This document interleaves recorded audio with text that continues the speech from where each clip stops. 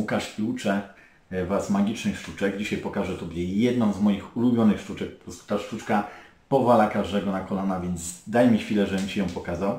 E, I sztuczka fajnie pokazać na przykład gdzieś w pubie, na imprezie, e, bo wtedy możesz liczyć możliwe, że na darmowego drinka bądź, bądź numer telefonu na przykład dziewczyny, od której, której tą sztuczkę pokażesz. Teraz na czym polega sztuczka? Mianowicie bierzesz sobie talię kart i mówisz do niej, słuchaj, zrobimy mały zakład.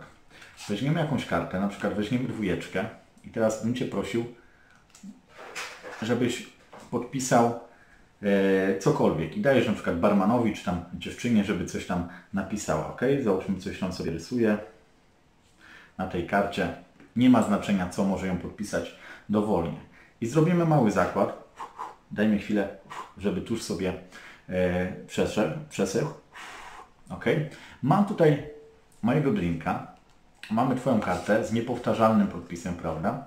Kładziemy ją tutaj pod moim drinkiem, prawda?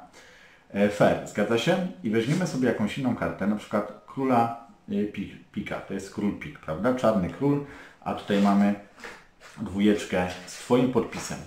I teraz Cała zabawa polega na tym, że jeżeli wezmę tego króla, zamienię na Twoją kartę, zanim zauważysz, w magiczny sposób, to stawiasz mi kolejną kolejkę, bądź możesz powiedzieć do dziewczyny, dasz mi swój numer telefonu.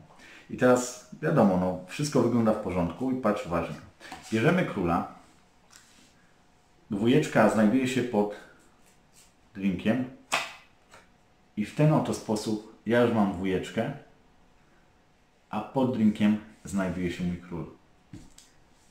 Niesamowita sztuczka. Nauczy się jej na xiluzja.pl. Naprawdę polecam.